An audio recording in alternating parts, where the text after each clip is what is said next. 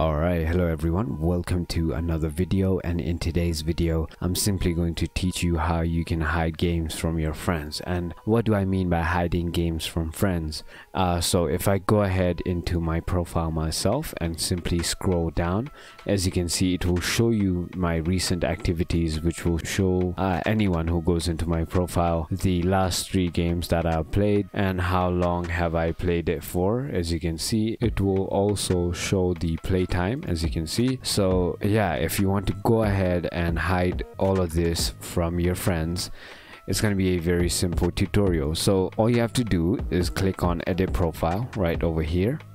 And once you have done that you're going to simply click on this button which says privacy settings.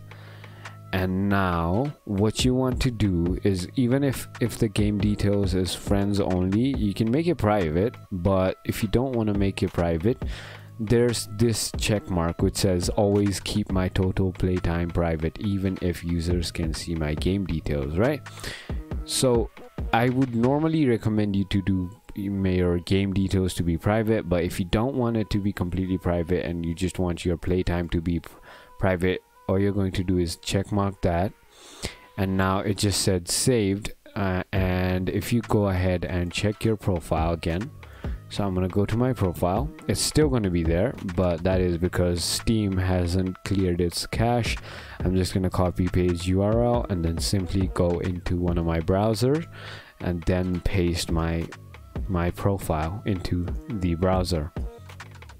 So if you go ahead and check it now as you can see there is nothing there.